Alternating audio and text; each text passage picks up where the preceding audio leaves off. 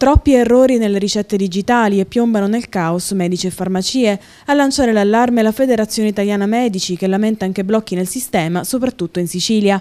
Nell'isola il formato elettronico è ormai una realtà, con oltre il 90% dei medici di famiglia e dei pediatri che hanno finora prescritto 12 milioni di ricette.